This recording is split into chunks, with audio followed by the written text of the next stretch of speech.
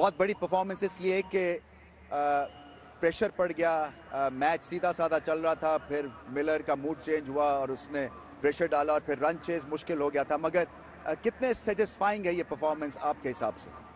हाँ बिल्कुल रमेश भाई अगर बात करें स्टार्ट की तो बॉलर से काफ़ी अच्छी बॉलिंग की अर्ली ऑन हमने विकटें ली। आ, लेकिन यहाँ पे मैं क्रेडिट दूँगा डेविड मिलर को जिसने आउटस्टैंडिंग इनिंग्स के लिए जो मैच को एक एक्साइट आउटस्टैंडिंग कर दिया। और उसके बाद देखें अब बैट्समैन जब हमारी बैटिंग आई थी कोशिश यही था कि जितनी हम पार्टनरशिप करेंगे जितना हम डीप मैच को लेके जाएँगे उतना हमारे लिए अच्छा और जिस आपने देखा फिनिश नवाज़ ने और हसन अली ने आउटस्टैंडिंग किया।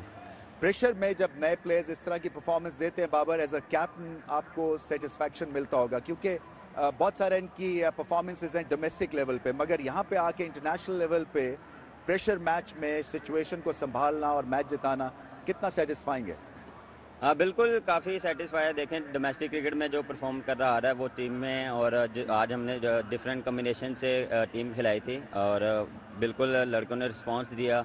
हसन अली का, का कम बैक हुआ और देखें आउटस्टैंडिंग उसने बॉलिंग और बैटिंग की है। नमाज़ भी देखें कम बैक पे आया देखें जितने भी हमारे यंगस्टर और जो कम बैक कर रहे हैं वो पूरा अपना हंड्रेड परसेंट दे रहे हैं और डोमेस्टिक से परफॉर्मेंस करते आ रहे हैं और यही बोला जा रहा है कि आप जितना अपने आप पे बिलीव रखोगे और जितना अपने कॉन्फिडेंस शो करोगे यहाँ पे फेयरलेस क्रिकेट खेलेंगे तो आप परफॉर्म करेंगे। आपने नंबर तीन पे आज बैटिंग की और बहुत अच्छी फॉर्म दिखी आपकी तो इसके पीछे क्या सोच थी? हाँ ऐसा ऐसा कोई सोच नहीं था बस एक प्लान था कि हम थोड़ा सा पावर प्ले यूटिलाइज़ करें ऊपर से हैदर अली को ऊपर भेज के और जिसे हमने यूटिलाइज़ किया। और उसके बाद यही था कि हम थोड़ा ये था कि थोड़ा लैग कर रहे थे थोड़ा स्पिनर पे शमसी पे तो इस वजह से थोड़ा मैंने एक नंबर नीचे आया और जो सक्सेसफुल हुआ हमारे लिए।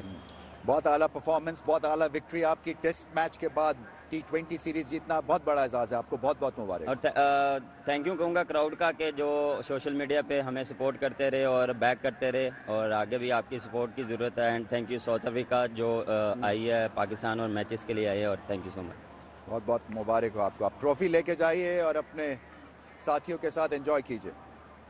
So that also concludes the post match presentation